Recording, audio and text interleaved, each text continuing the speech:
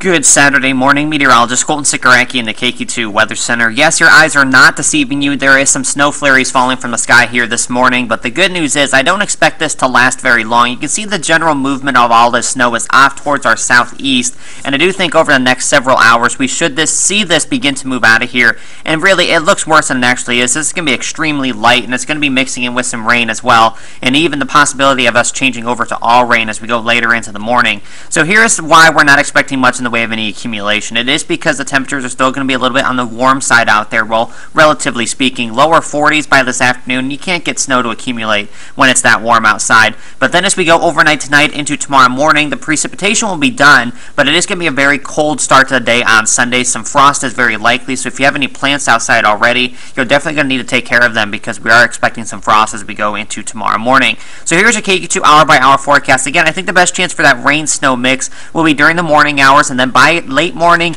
into the early afternoon, we should be drying out. And in fact, I think by this afternoon, we may see some clouds break up and the possibility of even seeing some sunshine as we go late in the day on Saturday and certainly into the day tomorrow.